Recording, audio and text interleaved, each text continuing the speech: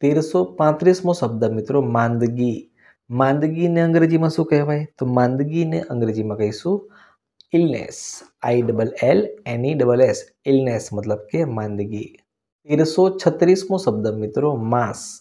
માંસને અંગ્રેજીમાં શું કહેવાય? તો માંસને અંગ્રેજીમાં કહીશું મીટ એમઈ એટી મીટ મતલબ કે માંસ.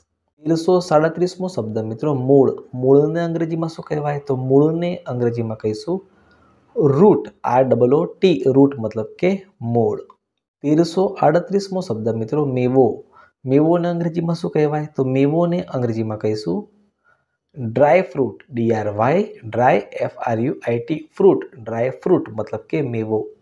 તેરસો ઓગણચાલીસમો શબ્દ મોઢું. મોઢુંને અંગ્રેજીમાં શું કહેવાય? તો મોઢુંને અંગ્રેજીમાં કહીશું mouth M O U T H mouth મતલબ કે મોઢું. સો ચાલીસમો શબ્દ મિત્રો, મોસંબી. મોસંબીને અંગ્રેજીમાં શું કહેવાય? તો મોસંબીને અંગ્રેજીમાં કહીશું sweet lime. S W double T sweet L I M A lime. Sweet lime મતલબ કે મોસંબી. તેરસો એકતાલીસમો શબ્દ મિત્રો, મોરું. મોરુંને અંગ્રેજીમાં શું કહેવાય? તો મોરુંને અંગ્રેજીમાં કહીશું bland. B L A N D bland મતલબ કે મોરું. તેરસો બેતાલીસમો શબ્દ મિત્રો, રવો. રવોને અંગ્રેજીમાં શું કહીશું? તો રવોને અંગ્રેજીમાં કહેવાશે સેમોલિનમાં. Semolina S E M O L I N semolina મતલબ કે રવો. તેરસો તેતાલીસમો શબ્દ મિત્રો, રસ. રસને અંગ્રેજીમાં શું કહીશું? તો રસને અંગ્રેજીમાં કહીશું જ્યુસ. જે યુ આઈ સીઈ જ્યુસ મતલબ કે રસ. તેરસો ચુમ્માલીસમો શબ્દ મિત્રો, રાયતું.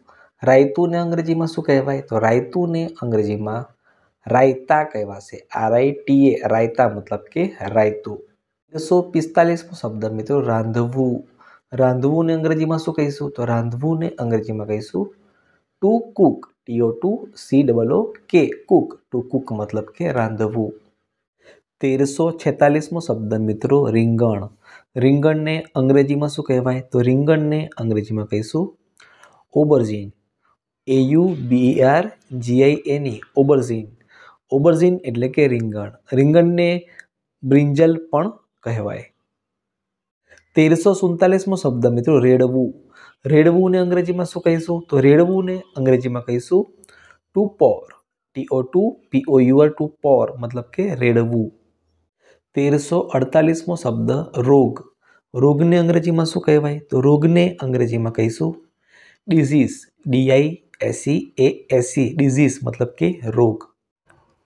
તેરસો ઓગણપચાસમો શબ્દ મિત્રો રોગી, રોગીને અંગ્રેજીમાં શું કહેવાય? તો રોગીને અંગ્રેજીમાં કહીશું અનહેલ્ધી આમાં સ્પેલિંગ મિસ્ટેક છે. આમાં સ્પેલિંગ થાય U N H E A L T H Y unhealthy unhealthy મતલબ કે રોગી.